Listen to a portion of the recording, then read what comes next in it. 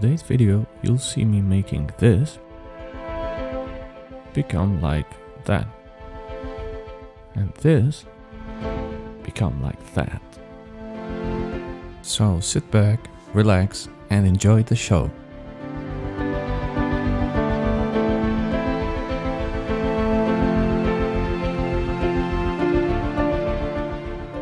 The Italeri kit comes full of detailed parts, but still, I need to make some modifications to reach my concept idea.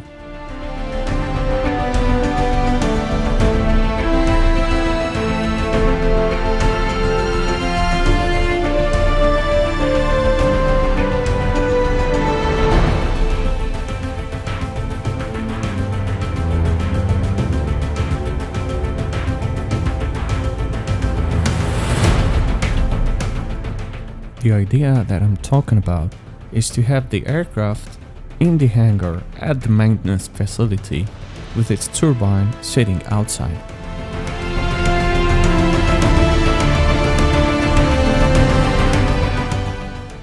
I started with the most obvious part that needed more realism, the exhaust nozzle.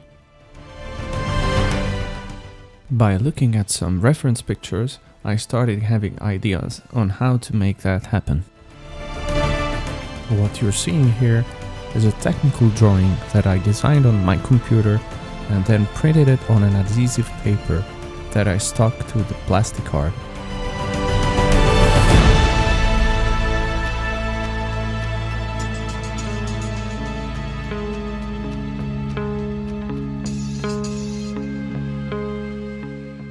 and piece by piece I cut them out and started assembling them.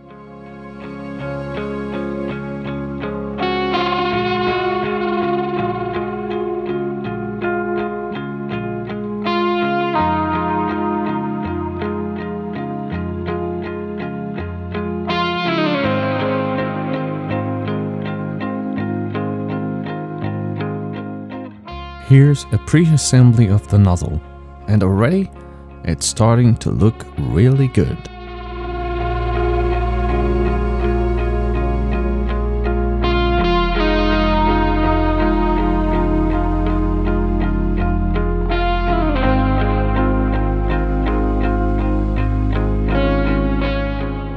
After painting the nozzle petals and treating them with clear varnish, I went with a slight weathering procedure using oil-based paint.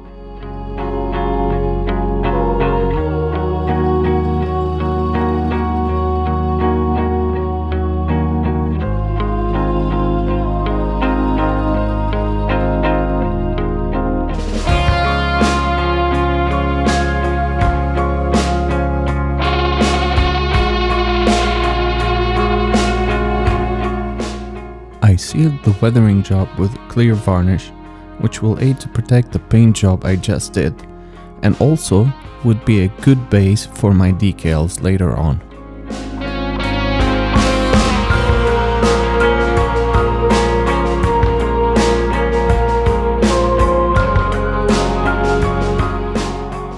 The decal setting solution is a good tool that helps my custom made decals to stick better to the surface.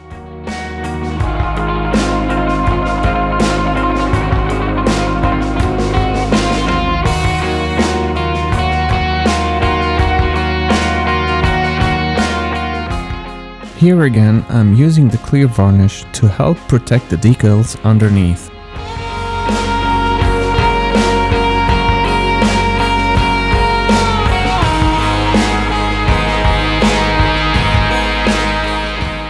I'm purposely using Tamiya's copper metallic paint instead of the fancy AK Extreme metal, because I want to obtain this rough appearance on the petals.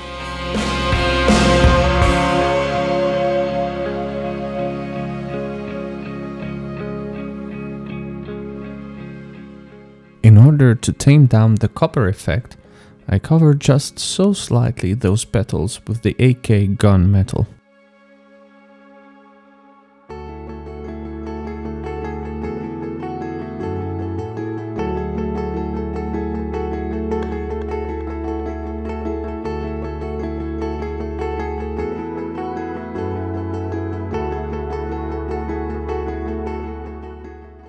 that you might be thinking that this video is so long. The reason behind that is because this project lasted two years and it was like building three separate models. The turbine, its trailer and the current aircraft itself. And if I wanted to share with you the whole progress, a complete day of video wouldn't be enough. So in order to make it a smoother ride for you, I decided to split this video and the upcoming one into separate chapters, so you can stop, take a break and come back to where you were left. Wait a minute, you should already be on a break if you're watching this video. And if you're not supposed to, then go back to work and don't forget to like and subscribe to my channel.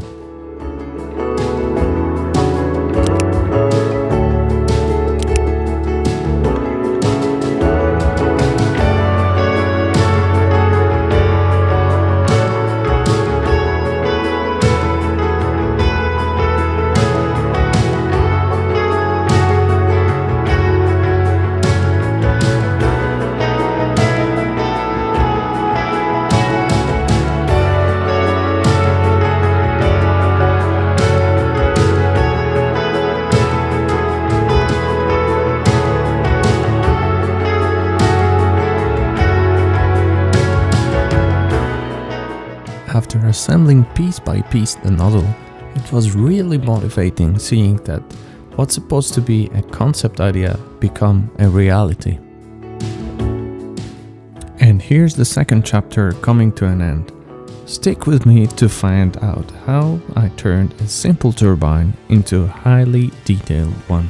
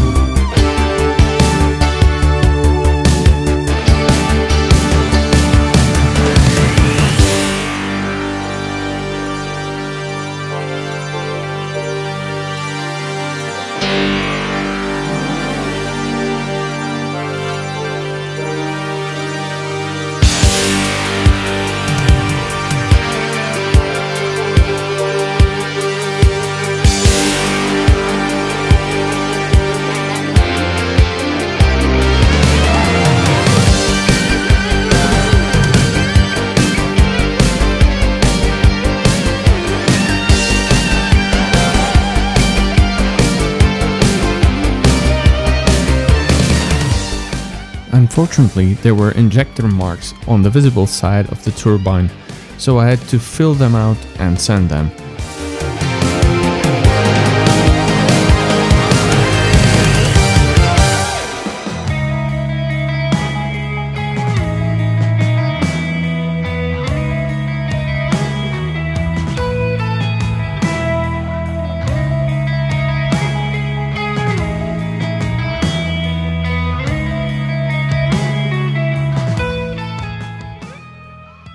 I knew that when I will put together the two halves of the turbine, I'll be left with a seam line, and that I'll have to do some mess to make it disappear. So I masked very carefully the turbine rotor.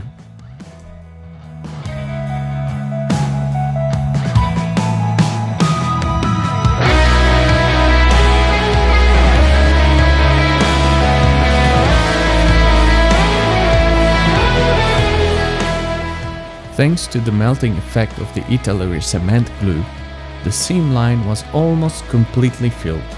So now all I had to do was to sand it down.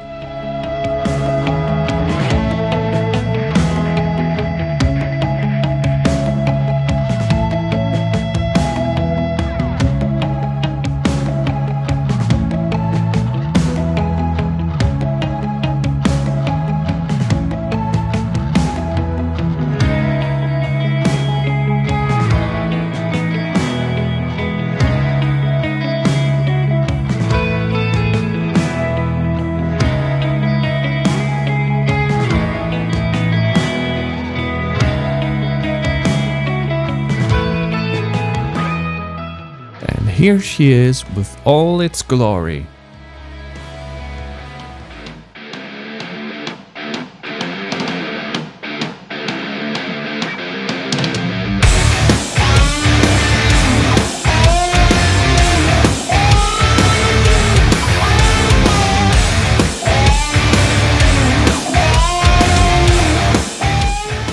Something unique about recreating a metallic shine on an object is to pre-paint it with glossy black finish and carefully covering it thereafter with a metallic paint without compromising its shiny property.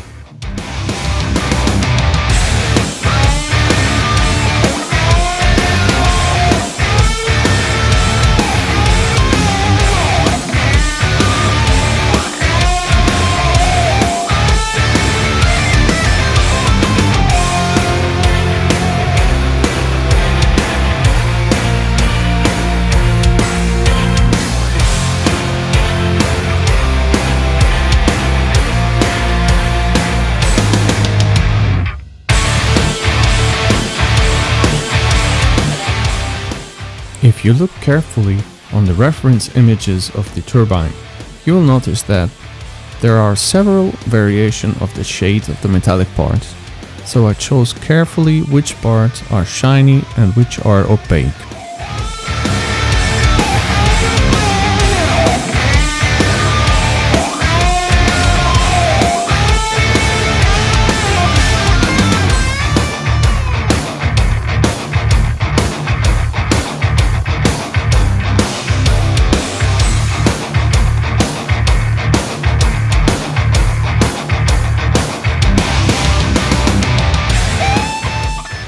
Sometimes I find that some parts are impossible to recreate with the out-of-the-box paint jar.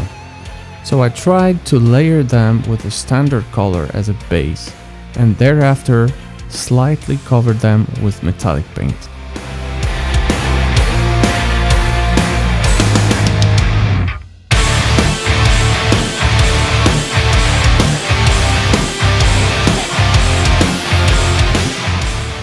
And on this last stage, I'm trying to kill that shine on the metal part by covering it with a matte varnish.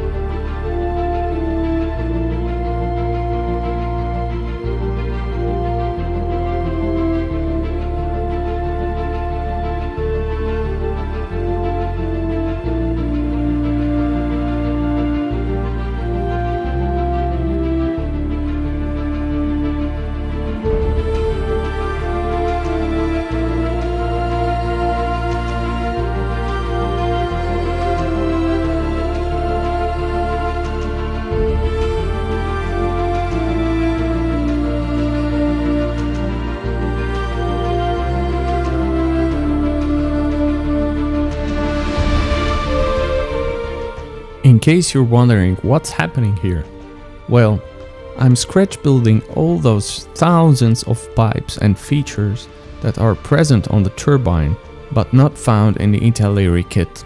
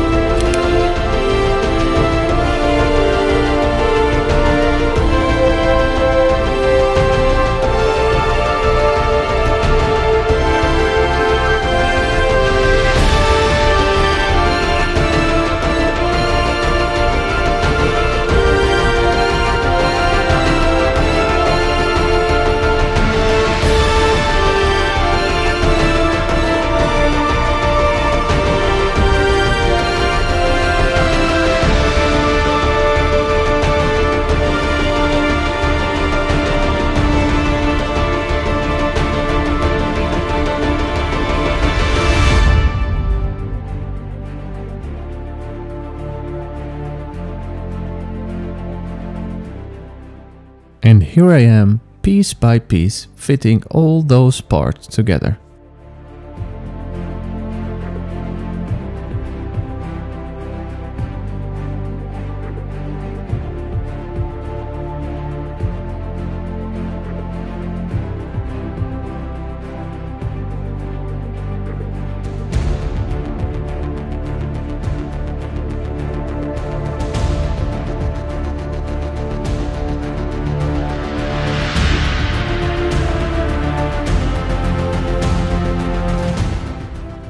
Here, I'm comparing the curvature of the original details of the kit with my unique handmade pipes.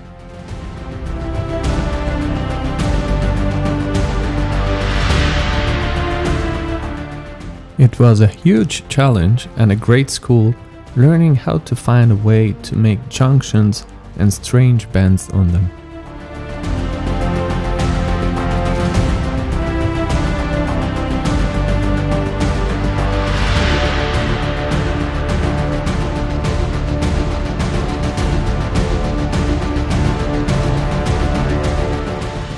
I have found this amazing tool, the punch, that helped me recreate the flanges of those pipes.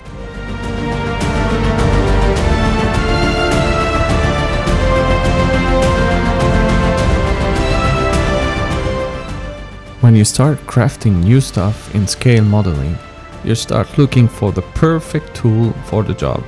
And it's amazing how many smartly engineered parts are out there then you can use and that helps you to reduce the time of crafting those things.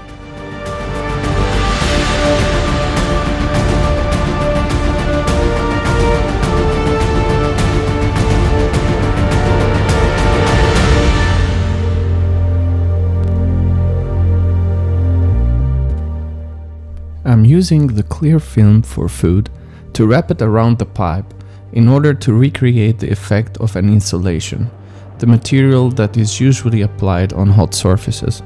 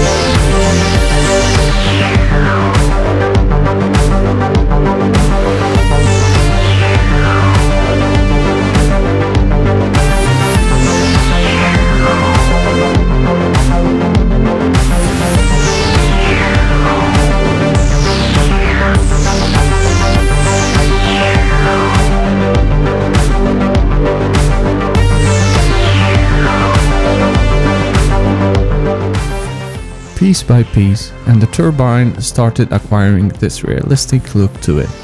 I must say that my hard work has now started to pay off.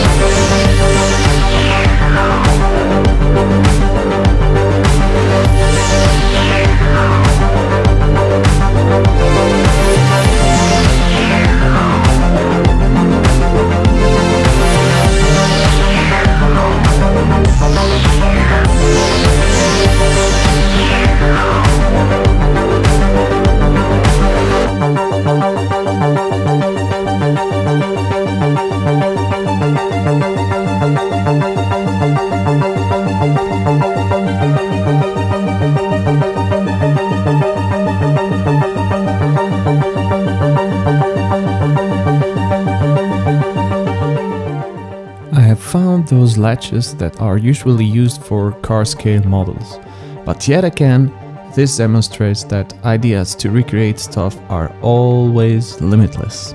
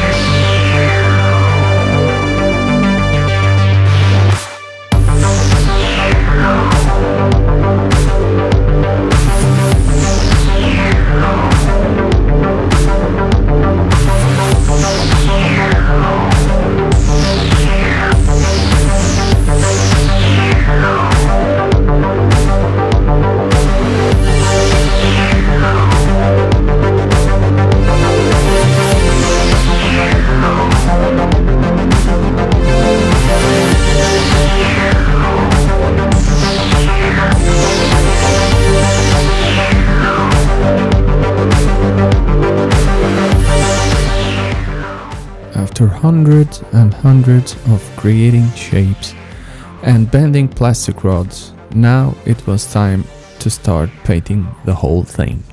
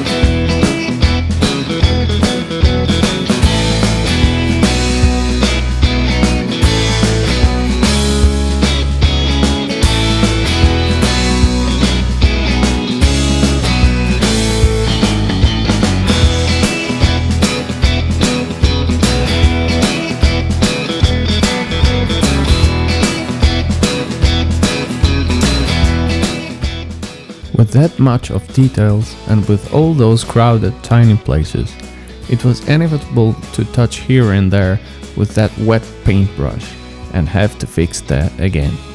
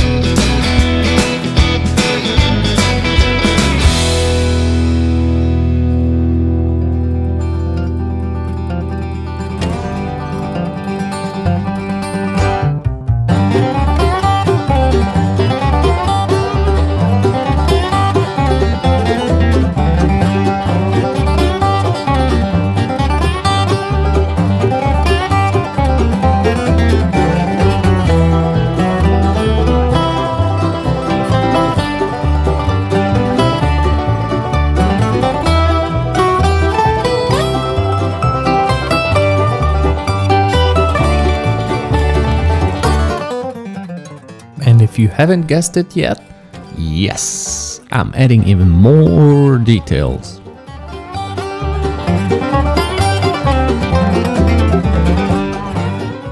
I'm using those nylon wires and twisting them to replicate those electric wires found on the turbine.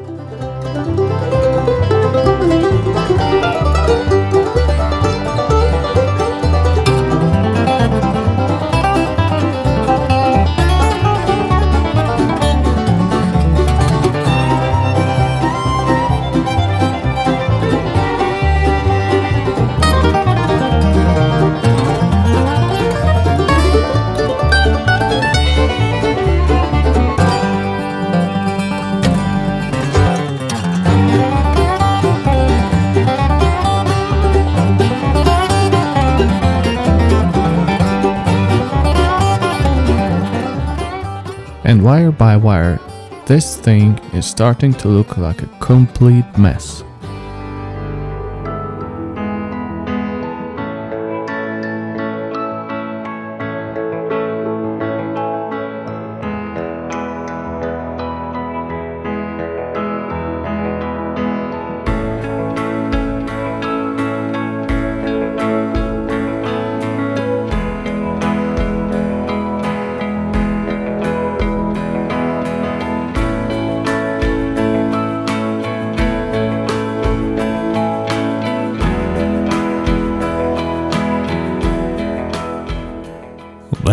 And gentlemen, I here present you my small creature, fruit of hard work and very long patience.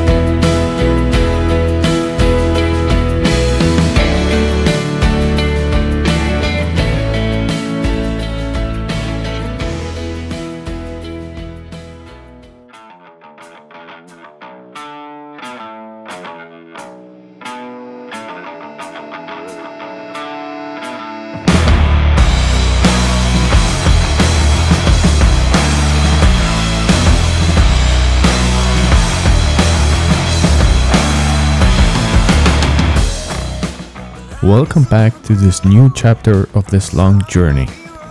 Thank you, by the way, for staying tuned for that far. If you're liking my content, please like, subscribe, and ring the bell.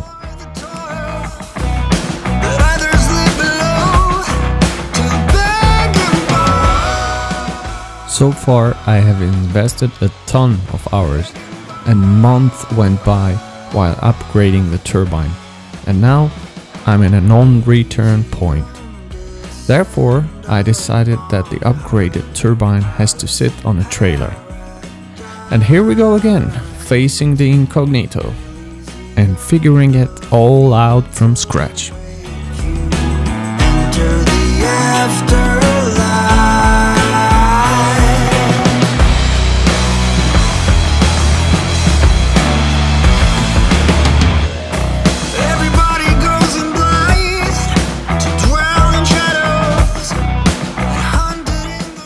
By a first glance, the trailer seemed to be very simple, but slowly, slowly, I started discovering that some details were pretty tricky to recreate.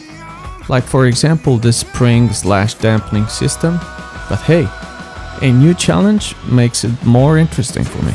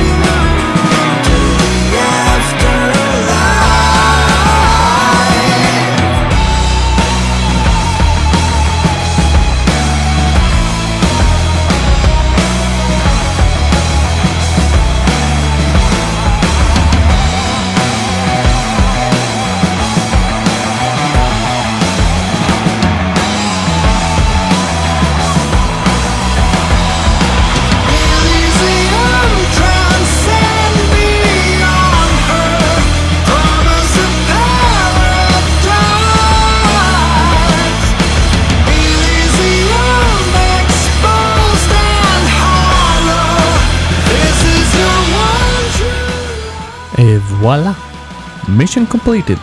Not bad at all.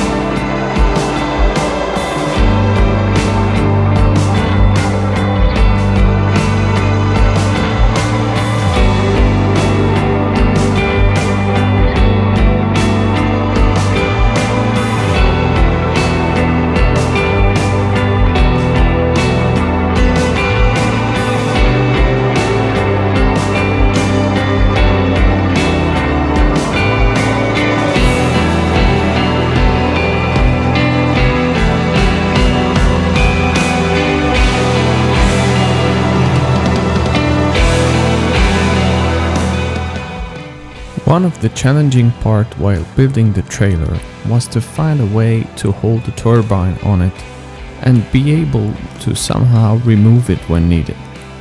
So I had to engineer this detail that you're watching in order to make that happen.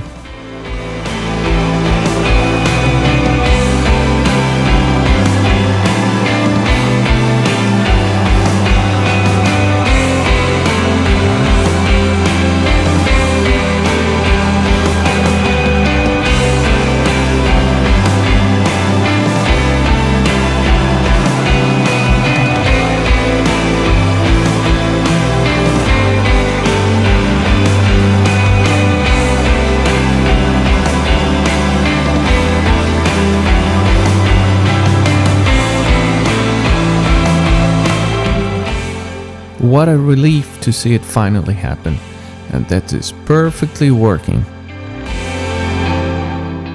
Here's a demonstration of the magic happening.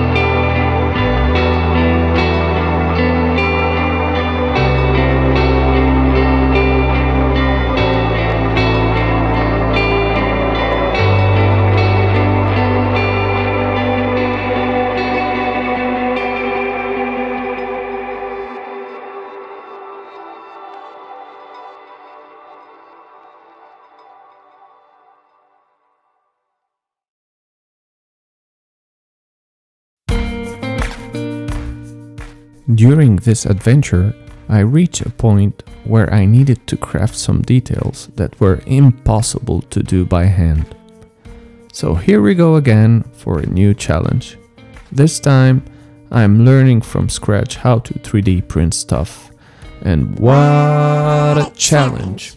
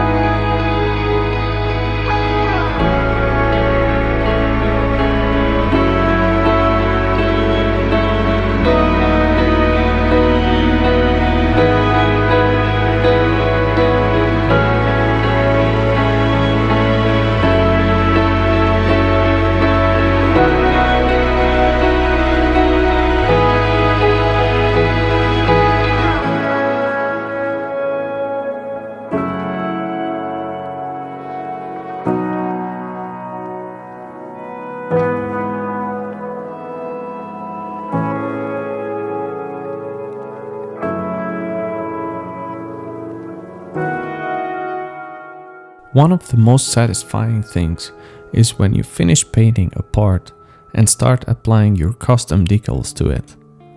By the way, if you're interested in printing your own decals professionally, check Max Model Decals. They are amazing in doing this job. See the description below for the link to their shop.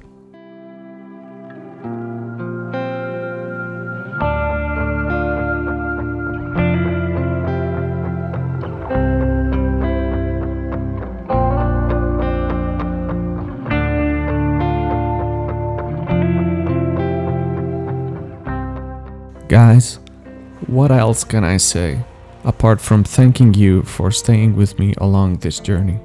I hope you enjoyed this experience and I appreciate you leaving me a comment below. On the next episode, you will see the final results of the completed F-35 and the whole project. For now, enjoy the final reveal of this current one.